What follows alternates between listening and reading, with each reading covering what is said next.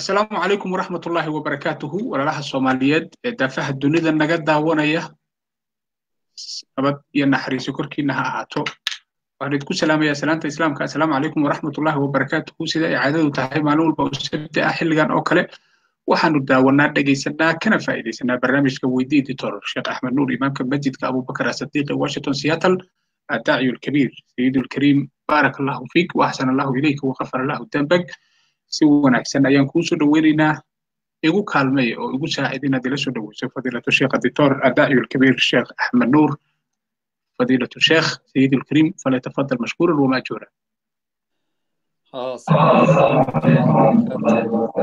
dhammaan walaalaha waan salaamay walaal axmed ilaa waqaac iyo eh, walaalaha kale nala socdaba waa idin wada salaamayaa asalaamu calaykum waraxmatullaahi wabarakaatu وعليكم السلام ورحمة الله وبركاته فضيلة الشيخ بارك الله فيك وأحسن الله إليك وغفر له ذنبك ولا البرنامج ك ويدي دكتور الشيخ أحمد نور واحد سؤالها كسو درسان كرتاس إذا أي عادة تهبا تلفون كلا بركيش هاي لحل لبو سدح لحل سجال لبو لبو سدح تاكسي مسجد يقرأت لبا دبا واد كسو درسان كرتا برتن فيسبوك أيات سيدو كالاتو يقصو دري كرتا wixii su'aal aad qabto soo dhowaada dhammaantiin allah idin barakeeyo. Sayidulkariim soon fara badan ayaa laygu leeyahay ayay leedahay gabadhani. Mar walla ayaan ahaa mar uur ayaan lahaa. Maxaa xal ah? Maxaan qaban karaa? Ayay leedahay sayidulkariim su'aasha kaloon la yaabaysa waxay too ku soo hor jirtaa waxay leedahay haddaan hadda naaskii ayaan cunugayga nuujiyaa.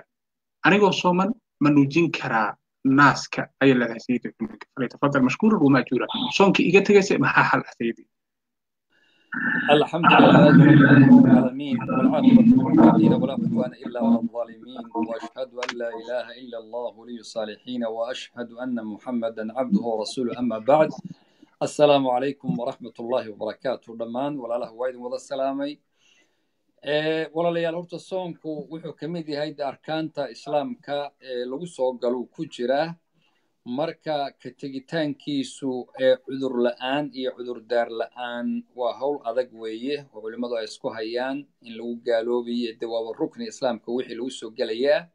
Hadduu qofku ama diido ama uusanba soomin cudurdaar la'aanna uu markaa ka tago waa ismi iyo dembi aad iyo aad u weyn uu qofku galay weeye horta inaad soonkii haddii waxaa lamidoo dembi kala qofku intuu soonkii ka tago oo cudurdaar la'aan markii hore cudurdaar buuba haystay sida gabadhan oo kale ama ilmay nuujinaysa ama uur bay lahayd ama musaafir iyo safar buu ahaa ama wuu jiranaa cudurdaaradu way badan yihiin. Marka soonkii kalea kugu gaadhay adigoo oon soomin cudurdaarkiina uu kaa dhammaaday oo ay qofkii fiicinaaday oo xaaladdu markii ku jira u ka baxay dembi baad mar labaad ou aasin buu ruuxaasi noqonaya oo dembiiluu noqonaya. Marka su'aasha haddii aan u soo laabano sida gabadhan oo kale sooman badan baa lagu leeyahay dumarka gaar ahaan haweenka in badan baa soon lagu leeyahay. Mar ilmay nuujiyaan marna caloosha ku wadaan. Waa suuragal gabadhu marka inay dhowr sano oo isku xiga marna ilma nuujinaysa marna caloosha ku wadaayo wax suuragala weeye haddii saasi dhacdo waxay ka badbaadaysaa inuu qofkaasi aasim la yidhahdo waa dembiile in la yidhaahdo ma yeelanayso dembi waayo cudurdaar bay u afurtay. Laakiin su'aasha meesha ku jirtaa waxay ahayd in la qadeeyo oo la soo la soo celiyo. Waxaa suuragal xilligii gabadhu ay qadayn lahaydba weli janis inayna helin oo sanad walba marna uur ay leedahay marna ay ilmo. Almuhim waxa maxaa la samaynayaabaa su'aal ah. Ma soon baa layga rabaa masoon iyo waxaa laga rabaa video waxa la yidhahdo inaan isku daro oo dad afuriyo. Ma u leexan karaa keliya inaan iska bixiyo wax oo aanan soominba?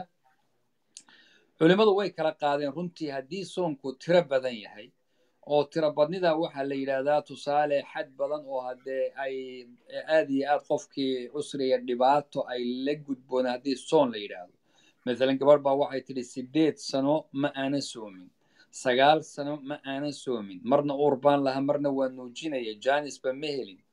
Qofkaasoo kale haddii sagaal sano soon la yidhaahdo ama sideed sano taqriiban waa xilli dheer waana cusri waana howl adag weeye.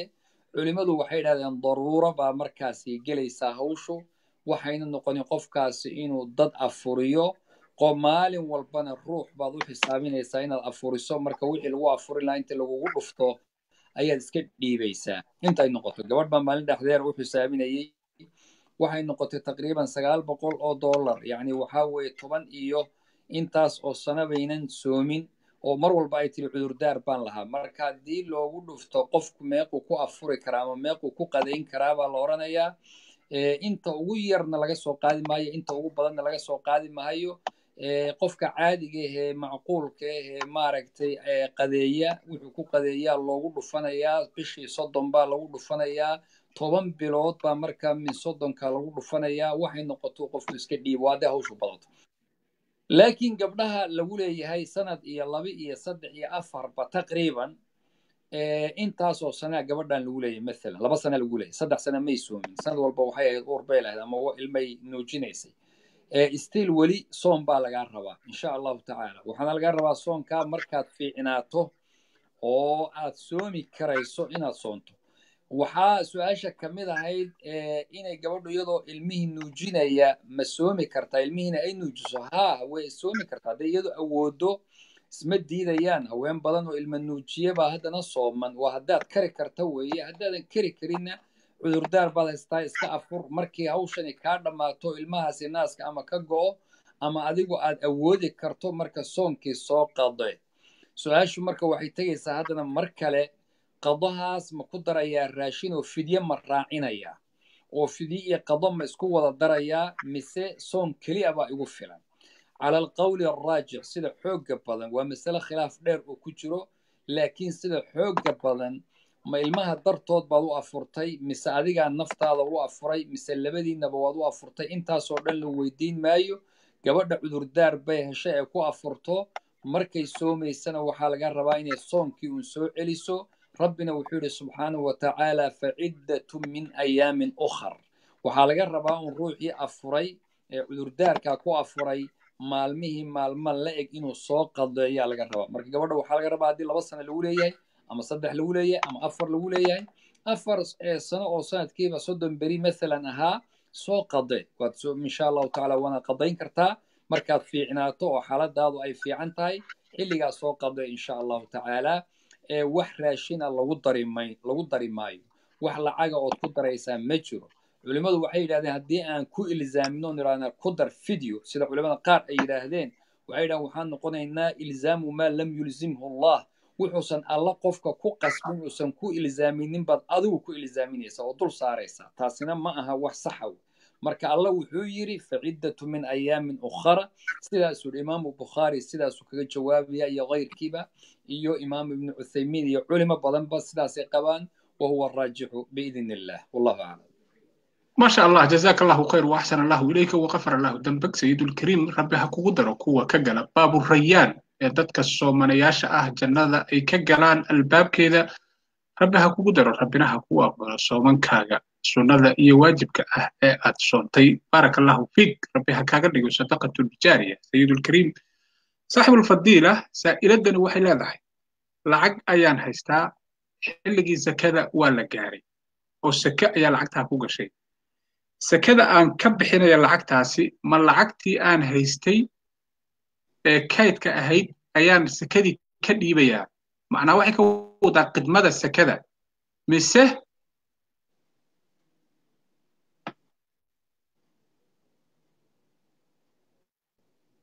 sayidulkariim naam.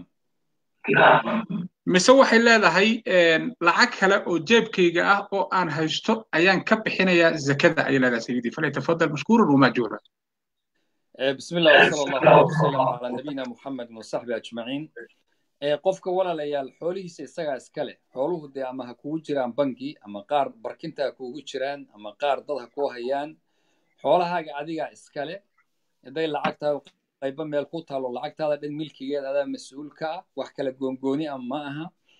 Marka lacagtaada ama tan ku taala ka bixi ama tog kale ka bixi waxaa la rabaa inaad adigu zakadaa bixiso unbaa lagaa rabaa waxaa laga yaabaa qofku haddii ay zaka ay xoolo meel u yaalaan oo mathalan bangiga kugu jiraan yani waxaa rabaa inta zakadu ka baxayso haddaad ka bixiso sanadkan ilan lacag baa la dhiibayaa. Waxaa laga yaabaa inay tiradii isdhinto. Sanadka dambe marka intii uun ma ahaanaysee haddana hoos buu u dhacaya. Sanadka kale haddaad ka sii goyso iyadii ka soo saarto hoos baa u sii dhacaysaa oo lacagtii waxaa yaraanaya aad lahayd baa yaraanaysa laakiin mama taa bangi ha kuu taallo oo lacagta ha kugu jirto ama meel kale aad ka bixiside qofka milkigiisa iyo xoolihiisu hal un weeye marka meeshuu raba ha ka bixiyo wax farqiya male wallahu aclam ما شاء الله جزاك الله خير وأحسن الله إليك وغفر الله ذنبك ما إنترنتك حب مسوى لقصوى وعيا ما أقانه baaraka allahu fik saaxibulfadiila rabbi jannatulfirdows ha ku geeyo dembigaagana ha dhaafo dembiga waalidkaana ha dhaafo afarta qiblo khayrka jirtana rabbi ha ku siiyo sharta jirtana rabbi ha kaa xijaabo sayidulkariim saa'iladan waxay leedahay zina ayaan ku dhacay. Sideen uga toobad keenaa mase igu waajibaa ninkayga ama qofka i guursan doona inaan u sheego. Arrinta iyadahina way soo lalaabataa sayidulkariim qof baa dembi ku dhacaya rag ama dumar nolol cusub ayuu bilaabayaa dembigii uu qofkaasu galay tusaaleahaan hadduu zinaystay ma u sheegayaa qofka kale ee uu wax la wadaagaya sayidii? Waajib miyay ku tahay fale tafakar mashkuur walaalayaal horta zinadu waxay ku jirtaa ninka waaweyn oo kabaa'irtaa bay ku jirtaa. Asabcu lmuubiqaat markuu rasuulku tirinayay toddobada waxhalaagta ayay ku jirtaa.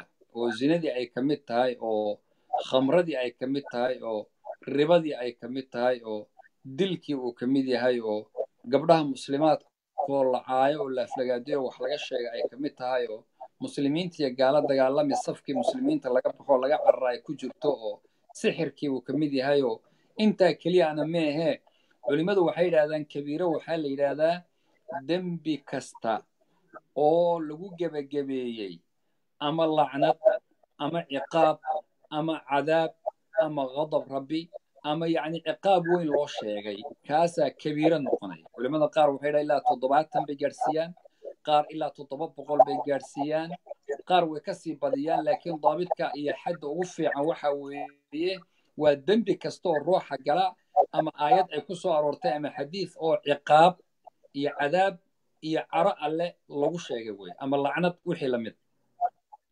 haddaba dembigan zinadu kuwaasuu ka mid yahay rabbina wuxuu yidhi subxaanahu wa tacaala ha u dhowaanina. Oo agteeda ha marin iska dhaaf zinadii e walaa taqrabu zina baa layidhi ha u dhowaanin oo agteedaba ha marina ayuu alla yidhi subxaanahu wa tacaala marka qofkii haddii uu dembiga isagaa ku dhaco saaka ayaa kitaabaan aqrinaynay oo ka mid ahaa caqaa'ida ahli sunnati waljamaaca sheekh alislaam ibnu taymiya uu qoray alcaqiida alwaasitiya kitaabka la yidhaahdaa wuxuu soo qaadaa masalada xukmu murtakibi alkabiira ee qofkii dembi weyn gala xugumkiisu muxuu noqonayaa qolyaha gaar sida waxay yidhaahdeen khawaarijtu waxay qabaan inuu yahay gaal. Muctasiladu waxay qabaan inuu yahay mukhalladun binnaari naarta lagu waarinayo. Laakiin ahlusunnati waljamaaca madhabka saxda wuxuu qabaa qofkaasi mashiicada rabbi buu u yaalaa hadduu rabana wuu cadaabayaa. Hadduu rabana cadaabkaba wuu ka daynayaa xitaa haddii la cadaabana insha allahu tacaalaa ku waari maayo cadaabka ee waxaa u dambayn doontaa jannada. Marka taasi waa bishaare insha allahu tacaala dadka dunuubtaa gala oo dhan bay u noqonaysaa insha allahu tacaala. Haddaba walaalayaal xukumkaa zinada hadduu qofku galo haddana qofkii gabdhaha qaar badan baa su'aashaas way timaadaayo ma u sheegaa bay leeyihiin ninkayga inaan xumaantaa iyadaa soo maray oo aan ma u sheegaa. Waxay moodayaan mararka qaarkood daacadnimadu inay sidaas tahay inaan khayaamo ma rabo inuu ogaadaan rabaa waxaan rabaa inaan ku idhaahdo arrinta noocaasa looma sheego ninka aad guursanaysa in loo sheega sax ma aha. Wax uu xaq u leeyahayna ma aha. Waxaanad ogaataa fitan baa halkaa kaaga bilaaban ma ogiye? Wuxuu kaaga daacadnimo uu kaaga qaadan ama uu leeyahay khayaano ku saabsan ma aha haddii alla ku asturay subxaanahu wa tacaala oo dembigaa alla kuu asturay adigu dad kale waxba ha la sii wadaagin. Ninna ha u sheegin habeenkaad u sheegtana shakiga uu kaa qaado baa laga yaabaa inaad ku kala tagtaan oo gurigiinnuna halkaa uu ku burburo. Marka wax daacadnimo ku saabsan ma aha oo la odhan kara ninkee gabdhaha weliba yaryar oo waddamadan reer galbeedka ku koray baa inta badan sidaa moodo oo ninkayga inuu ila ogaado weeye inaan khayaamo ma rabo inuu ogaadaan rabaa marka sidaasoo kale waxaa ka timaada dhibaato xaqna uma leh inuu ogaado marka allaha ku duub ku asturay allahaaga u toobadkeen isagana waxba ha uga sheegin hawsha iyada ah wuxuu hadda ka qabanaya waxay kuu noqonayso midna ma jirto insha allahu tacaala allahu aclam ما شاء الله جزاك الله خير واحسن الله اليك وغفر الله ذنبك صاحب الفضيله ربي سبحانه وتعالى اديك قوسك قبا وبد باديه سيده وبد باديه ابو الانبياء والمرسلين nabiyullaahi ibraahim calayhi salaam baarak allahu fiik. Walaalayaal waa barnaamijka weydii ditor sheekh axmed nuur imaamka masjidka abubakar asadiiqa washington seattle. Soo dirso khamiista ka hor insha allahu biidnillahi alkariim su'aashaada si aan sheikha ugu gudbino sayidulkariim waa gabar yar afar iyo labaatan jir ah. Waxay leedahay hooyaday ayaa hadda ka hor gabbedeleen howlihii dhaqanka soomaalida lagu xaliyey hooyaday nabradii gabadhaas gabdhahaas ay ku dhufteen ilaa hadda way ku soo kacaan dadkiina waxay nagu yidhaahdeen adinku ka roonaada dadkan kaleeto sidaas darteed weli ma ilaawin ayay leedahay oo cuqdadaas ayaa igu jirtaa welina ma aan cafin anigu oo mar walba waan karaahaystaa oo waan dhibsadaa maxay shareecada islaamku ka qabtaa sayidii falyatafadal mashkuuran wamaajuura بسم الله وصلى اللهم وسلم على نبينا محمد وعلى اجمعين walaal haddii dadku ay dulmi hadduu dhaco iyo dhibaato la isu geysto waxay diinteennu qabtaa inaa shayga isaga laga heshiiyo laga maaragtay wada hadlo hadduu qisaas leeyahay iyo haddii diyo la kala qaadan iyo haddii la isu cafinayo intuba waa albaabo furan weeye. Inaad u cafidaan way leedahay. Haddii nabarre ay hooyo ku yaalaanna nabarradaa hadde sharcigeennu wuxuu waddo loo maray leeyihiin oo ay kala duwan tahay axkaamtoodu iyo waxa ka ratibmaya iyo waxa laga soo qaadayo intuba fuqahada iyo culimmadeenna ka hadlaya waxaad la kaashan doontaan culimmada idinla joogta haddaad cafinaysaanna waa mid fiican oo wanaagsan insha allahu tacaala يعني عفو آد بو ياهي اللهم إنك عفو تحب العفو فاعف عني yacni ilaahay subxaana watacaala inuu na cafiyo waan jecelahay haddaan jecelahay rabbi inuu na cafiyana inaan inaguna wax cafino ayaa wax fiican. Si uu alla kuwa cafiyo adiguna inaad cafido. Marka eh, hadday qisaas ahaan iyo haddee aad hawl ka rabtaan oo wixiidi laydinka xaalmarinina u bandhiga dadka si looga heshiiyo laakiin laba jeeraba in laga heshiiyaayo waa muhiim weeye. Dadka muslimiinta ah inay qalbiga wax isagu hayaan ma jiro wado wax walba wadaa loo sameeyey waddo cadaaladeedii iyo xaqeedii lagu kala maray leedahay. Laakiin in qalbiga lagu haysto oo caloosha aad wax ku haysto taa laguma ogola. Marka waddadaasi sax maaha laba unbaa kuu habboon. Inaad hooyadaa waxa loo geystay aad dadka iyagaa sharciga isla martaan kuna kala baxdaan iyo inaad idinku cafidaan. Oo maaragtay cafigaas inaad si caadi uu kaaga dhaco oo qalbigaaga ka saarto. Laakiin inaad qalbiga weli waxun ku hayso waxaasna uu yahay wax kugu taagan. Qof muslimana aad ugu hayso walacalla laga yaabo inuusan isagu kuugu haynin walacalla laga yaabo inuu moodayo inaad cayscafiday walacalla laga yaabo in marka arrintaas waxa fiican labadaa wada midun mara ama sharcigii aada ama idinku cafiya wallahu aclam ما شاء الله جزاك الله خير واحسن الله اليك وغفر الله ذنبك صاحب الفضيله حق الله هي حق الادمي من لغما يشور ربنا هلا فالذنب جاجا هي الذنب والد كابر ربي حكى لك صدقه الجاريه سيد الكريم صاحب الفضيله waxay leedahay gabadhani waxay leedahay waxaan kaa codsanayaa codsi ayay soo raacaysa sayidulkariim inaad ii weydiiso sheikha eyga miyaa la taaban karaa ma lagu haysan karaa guriga ayay leedahay sayidulkariim weliba qofkan wuxuu joogaa dal muslin ah falyatafadal mashkuuran wamaajuura isaguna waa muslim الحمد لله رب العالمين وصلى اللهم وسلم على نبينا محمد وصحبه أجمعين walaalayaal haysashada ayga oo guryaha lagu haysto guud ahaan waa masale aan u bannaanayn dadka muslimiinta oo xaaraam wey markii laga soo reebo weliba intaanan soo reebidda gaadhin waxaana xadiid saxiixa oo imaamu muslim uu soo saaray ku soo arooray rasuulku leehi sala allahu calayhi waaalih wasalam qofkii ay ku haysta guriga waxaa ka nusqaamaya ajirkiisa maalin walba. Waa xasanaadkii aad shaqaysatay soonkaagii iyo salaadaadii iyo wanaaggii aad samaynaysay. Maalin walba qiraad ama xadiiskaasuu ku yidhi qiraataan qiraadkana mar kale uu rasuulku u mithaalinayey waa kii lahaa qofkii qof dhintay oo muslima janaa'isadiisa ku tukada. Haddana wax ka aasa laba qiraad buu helaya bimacnaa waa laba ajir oo waaweyn tanna waxa weeyaan wuxuu waayayaa qofku. Wan xasanaadkaaga iyo wixii aad haysatay baa laba wax oo waaweyn baa kaa nusqaamaya oo kaa go'aya. Maalan laba buurood wax le-eg baa ka go'aya ajirkii aad haysatay. Marka haysashadiisu sidaasay muxaram u tahay. Laakiin waxaa laga soo reebaa saddex arrimood oo axaadiistu ay sheegeen iyo waxyaabo la haleeshiiye intaba waxaa laga soo reebaa inuu yahay saydka ama ayga lisayd in loo haysto ugaarsi.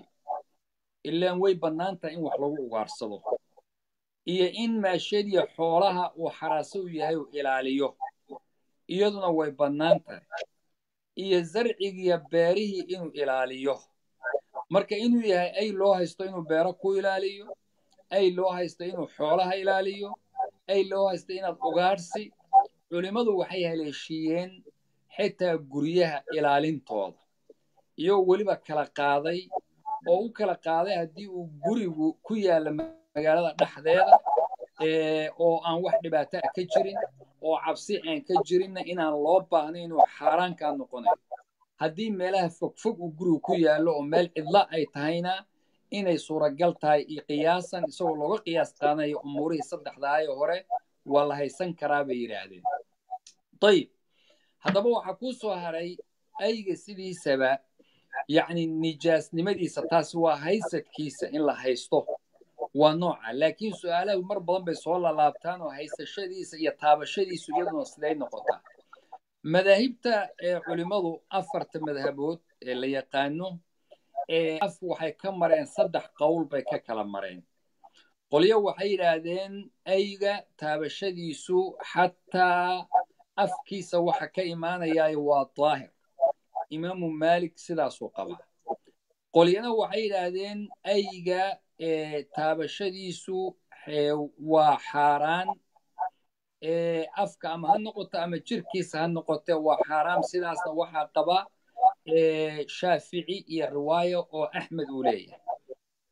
Abu xaniife isagu wuxuu leeyahay ayga shacarkiisa yani timihiisa kore waa daahir yani xaggiisa kore haddii la taabto waa daahir laakiin waxaa nijaasaa afkiisa ayaa nijaasa marka taas imaamu shaafici isagu wuxuu lahaa waa daahir yani waxa weeye najaaso weeye xataa shacarkiisa yani waa sidaan sheegaynay xitaa timihiisu waa waxa weye waa waa nijaaso weeye timihiisa kore iyo korkiisa haddii la taabtaayo waa nijaaso shaaficina wuxuu dhani waa daahir.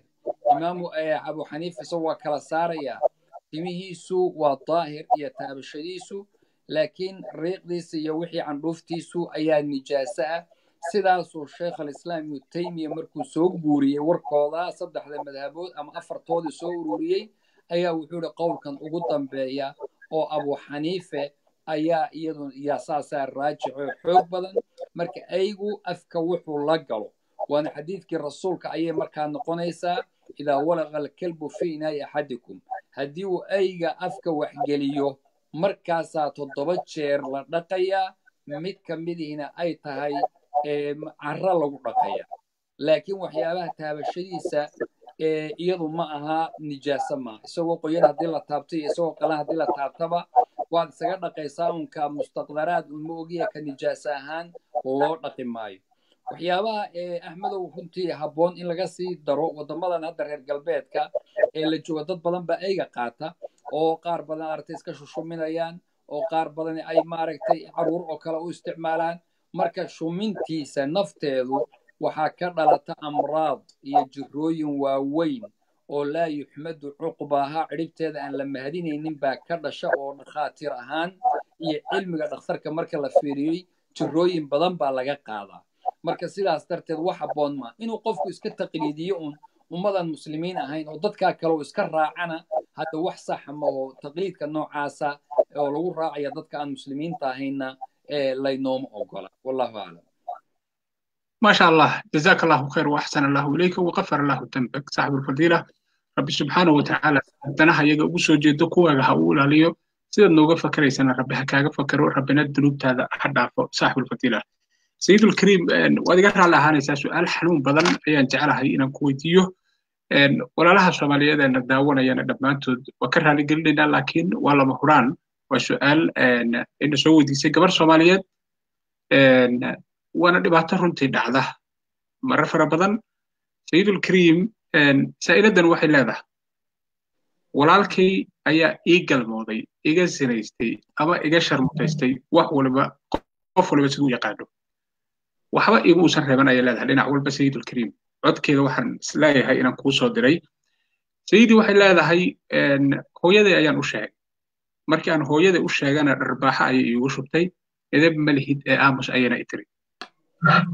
Marar badan ayuu igu sameeyey ay leedahay saaxibulfadiila marar badan ayaan u sheegay hooyaday iyo aabbahay laakiin isaga ayaa la garab siiyey hadda waa kornay ayay tiri saaxibulfadiila hooye ayaan ahay owlaad rabbi ku irsaaqay iyo nin hooyaday way ila degan tahay qalbiga ayaan ka necabahay ayay tiri saaxibulfadiila indhaha uma dhammayn karo dembigii ay iga gashay darteed laakiin waa waalid oo wax walba oo i weydiisato waan siiyaa ayay tiri waanan u dhaga nugulaha balse wax niyad iga aba ahane waan isku khasbaya ayay tiri murugada ugu sii daran ayay leedahay saaxibulfadiila ee ilaa iyo hadda taagan waxay tahay hooye waxay leedahay naa wiilkayga lacag u dir. Weli kama aysan garaabin hooyo. Isaguna wuu soo hadlaa oo wuxuu yidhaahdaa hiblaayaha la ii dhiibo laakiin lama hadlo oo mar walba waan ka dhaqaaqaa oo weliba guriga ayaan ka baxaa. Cuqdad ayaan dareemayaa iyo calolyow ayay tiri saaxibulfadiila ninkaasi ma igu leeyahay xaqii walaaltinimo. Weliba waxay ku sii dartay. Hadda ayuu faldambiyeedkaas ku sameeyey gabar. Hooyo iyo aabbe ayaana laaluush lagu sii daayo markii ciidamada dowladdu xireen bixiyey ayay leedahay saaxibulfadiila iyagoo weliba damcay xataa in ay aniga iga qaadaan lacagtaas.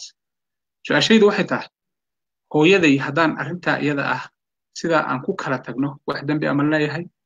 Ninka isaga ahi xaqii walaaltinimada ahaa ma igu leeyahay maxaadse igula talinaysaa ayay leedahay sayidii uurka ayaan ka gubanayaa caloosha ayaan ka ooyayaa wax aan sameeyo ma aqaana su-aasha kaloo sii raacsan waxay tahay ninka hadda i qaba waa su-aashaad hadda ka jawaabaysee arrintaa iyada ama u sheegi karaa weli uma sheegin ayay tiri sayidii falitafadal mashkuuran wamaajuura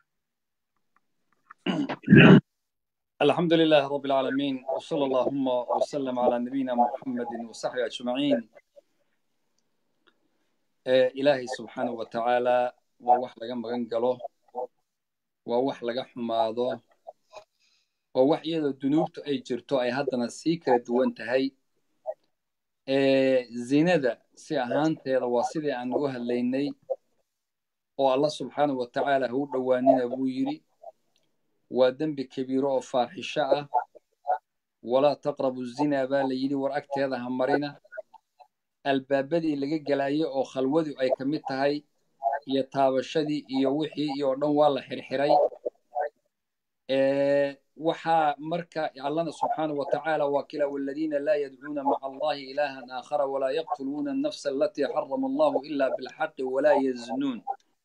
Waman yafcal dalika yalqa ahaaman yudaacaf lahu alcadaabu yowma alqiyaamati wayakhludu fiihi muhaana marka waa howl adag weeye oo dembi weyn lagala kulmaayo oo cadaab lagu mutaysanayo waxaa la yaab le axmedow oo taa ka sokaysa ee dadka maxaarimta ah oo qaraabada azinadoodu taa la mid maaha. Culimmadu sidaasay isku waafaqeen.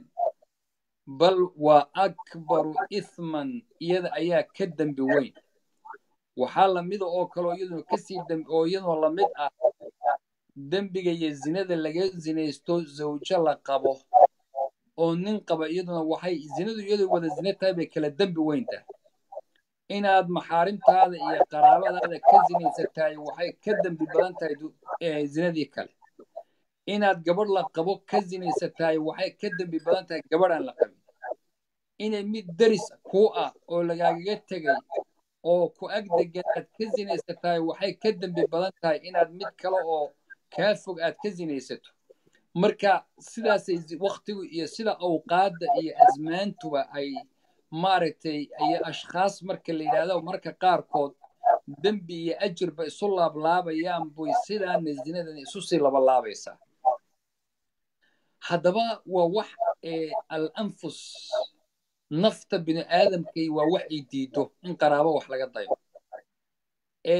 Fitrada saliimka ah waa wax ay diido ee ilaahay inagu abuuray subxaana. Bilaahi calaykum balu fiirsada? Xayawaanaadka. Ma ogola inay maaragtay ku soo noqdaan dadka iyagu isdhala ilmihiisa iyo inuu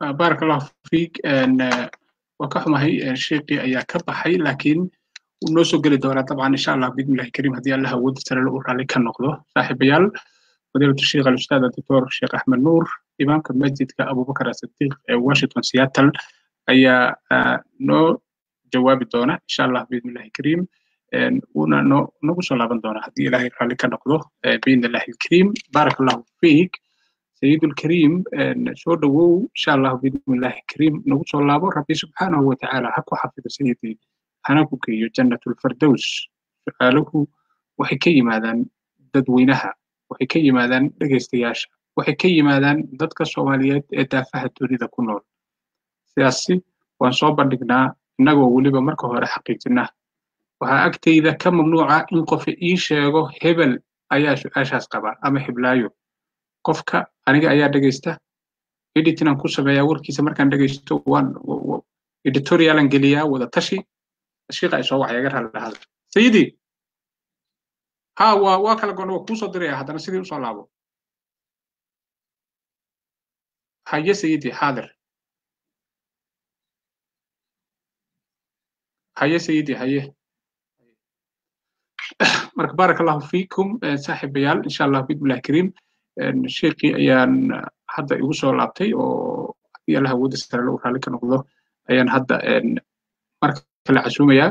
Insha allah bismillahi kariim. Marka insha allah bismillahi kariim saaxiibayaal. Marka qofkaas editorial meeting ayaan gelinaa. Culummada waa hadalkiisa waa laga shiraa. Markii laga shira kadib baa go'aan laga gaaraa. In su'aasha laga jawaabo su'aalo fara badan oo waxaa jira gaar looga jawaabo oo aan halkan la keenin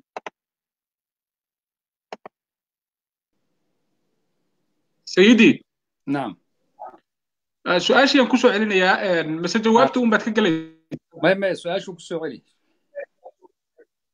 maasha allah jazaak allahu khayr waxsan allahu ilayka wagafar allahu dembak saaxibu lfadiila rabbi ha ku geeya jannatulfirdows dembigaaga iyo dembiga waalidkaana rabbi ha dhaafo sayidulkariim waxaan kaa raaligelinayaa su'aal aan halkan rabo inaan kugu sheego walaalaha soomaaliyeed eena daawanayana aan u sheego taas oo gabar soomaali ah afka soomaaliga ku hadasha ayna soo weydiisay. Soomaaliyad ah weliba soomaaliga soomaaliga ah. Markaan saas leeyahay waxay ka mid tahay dadka soomaaliyeed ee xorta ah ayay ka mid tahay.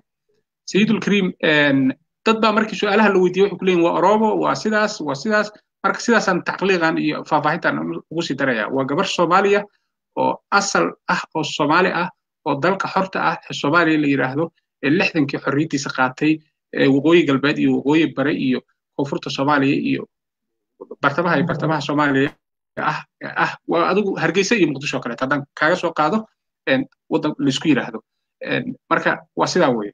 Xataa jibuutiyaan ma ahan. Waa soomaali. Marka sidaasaan rabaa inaan u sii caddeeyo. Sayidulkariim waxay leedahay walaalkay ayaa iga zinaystay.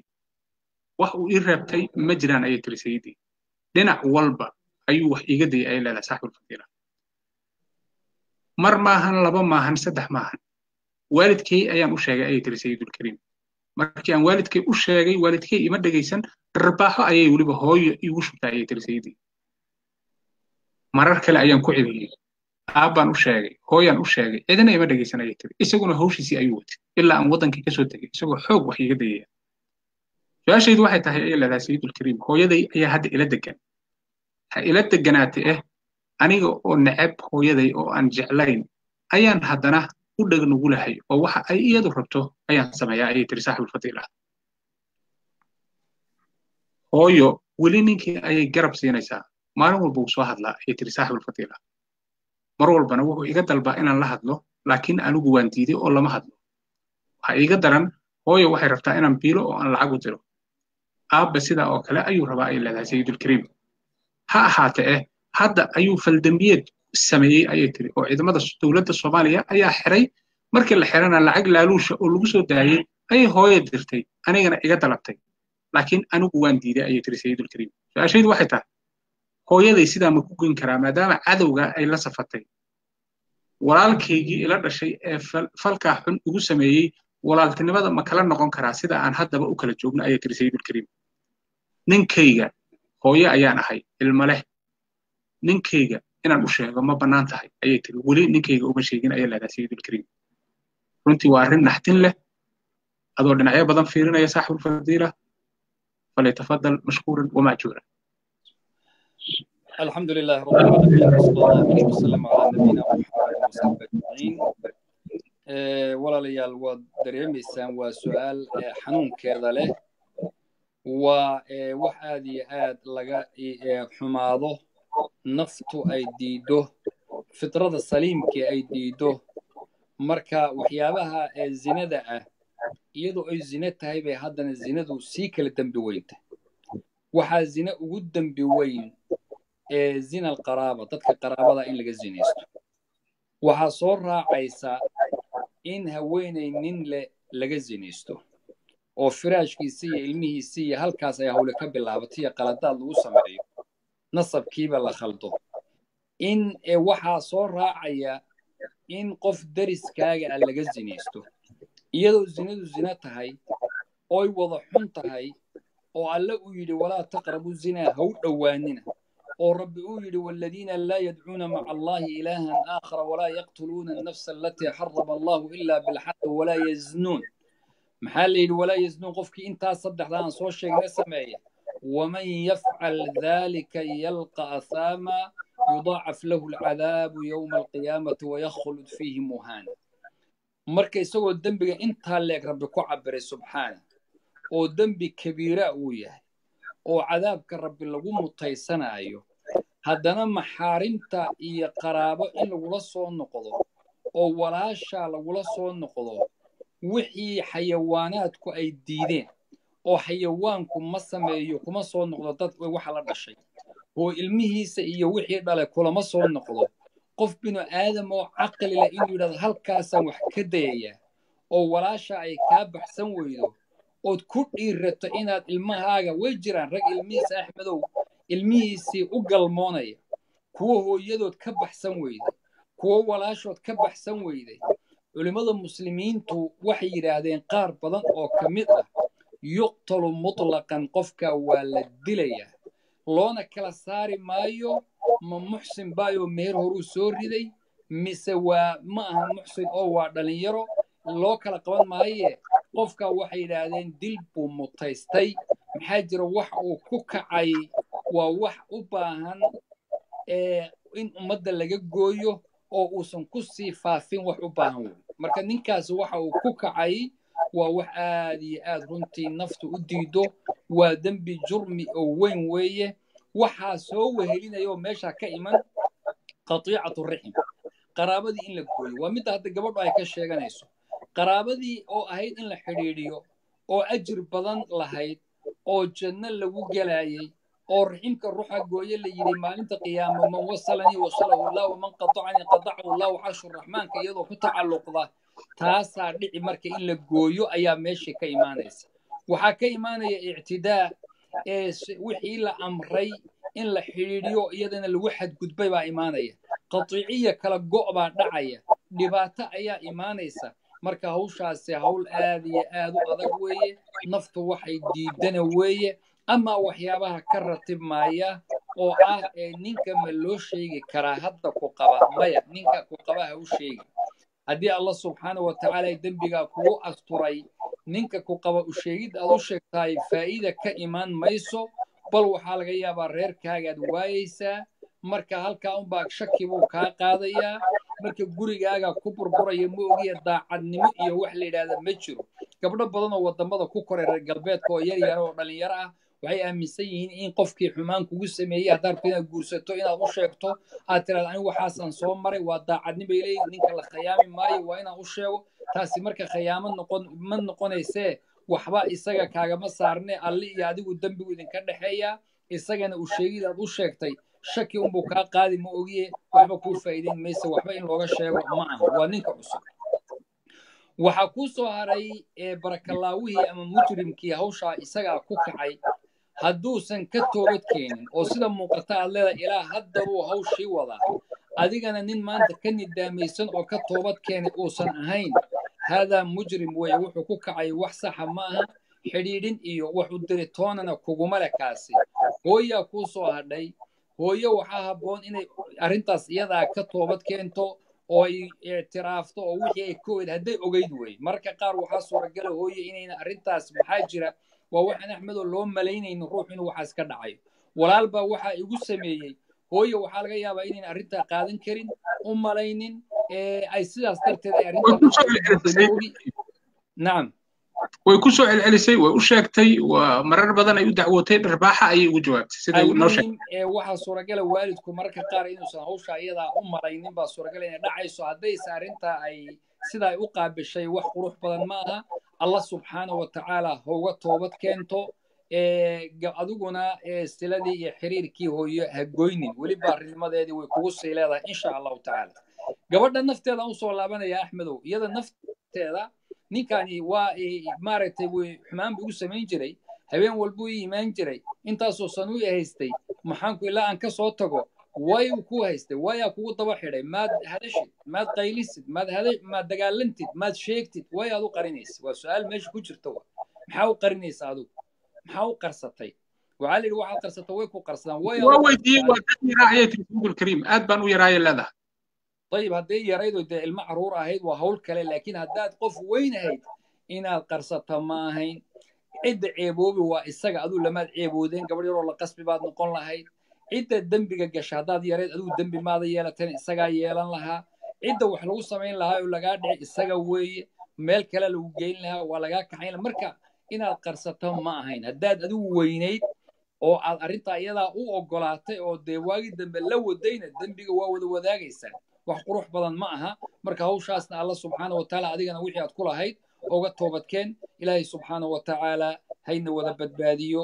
Ilaahayna subxaana wa tacaala hayna xifdiyo وجزاكم الله خير وبارك الله فيكم ما شاء الله جزاك الله خير واحسن الله اليك وغفر الله ذنبك سيدي دردارن جود ilmuhu way hadlaan mar walba waalidkuna afkuu qabtaa maxaad kula dardaarmaysaa waalidka جزاك الله خير احمد arrintaasi waa arrin jiri karta walaalayaal arrintaasi waa arrin saxa ma aha waalidku inuu soo boodo ilmaha afka qabta un maaha in la celiyo ma aha in maaragtay waa ilmaha haddii sheeg in la yidhaahdo wuxuu maqlay waa mararka qaarkood axmedow ilmaha waraysigoodu waxaa la yidhaha ma fiicina oo in guryaha ka warrama la yidhahda iyo waxaad soo aragtay iyo maxaa lagugu sameeyey iyo maxaad xaggan soo martay iyo hawl fiican ma gelayso.